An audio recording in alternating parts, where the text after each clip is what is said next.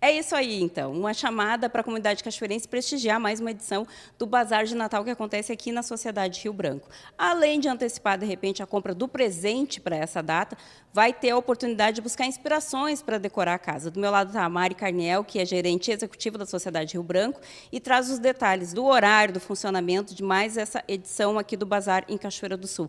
Mari, então, vamos falar um pouquinho para o pessoal de casa sobre mais um ano dessa atividade, que contempla aí expositores, de vários segmentos, né? E dá essa oportunidade também para a comunidade cachoeirense vir prestigiar. Boa tarde. Boa tarde, Thelma. É um prazer receber vocês aqui para a décima edição do Bazar de Natal, que acontece neste final de semana.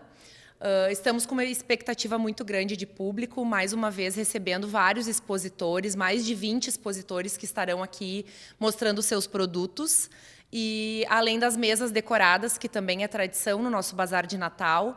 Então a gente conta com a presença de todos aí da cidade, quem quiser vir nos visitar, será muito bem-vindo.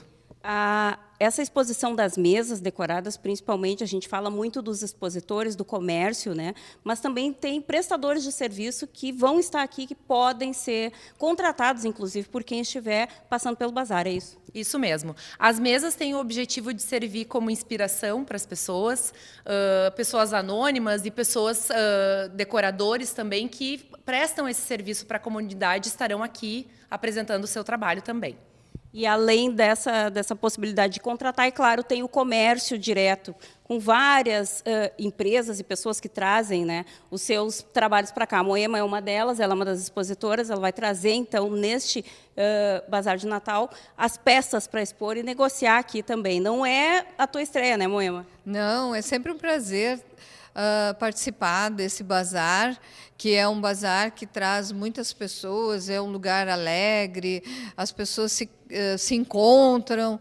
E uh, eu vou trazer a tapeçaria os teares que eu sempre trago e as, tem muitas pessoas que já me conhecem aqui na cidade, né? Porque eu faço parte desse bazar há algum tempo já.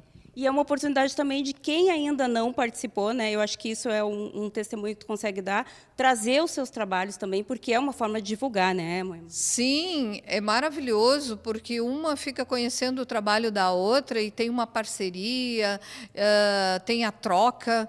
E é, é, muito legal. Essa parte assim é, é grande aqui na, no Rio Branco. E eu convido todos vocês mais uma vez, reforce esse convite, porque vai ser uma festa bem linda. Que bom, então tá aí, reforçado o convite. Agradeço tanto a Mari quanto a Moema pelas informações.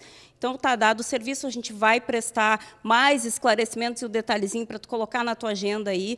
Começa nesse feriado, então, 15 de novembro, e segue no dia seguinte ainda a exposição aqui de Bazar de Natal, promovido pela Sociedade Rio Branco. Tem artesanato, tem decoração, tem prestação de serviço, tem alimentação, tem muita coisa gostosa aí que pode vir para contribuir aí e aproveitar para dar uma passeada no feriado e já organizar as festas de final de ano.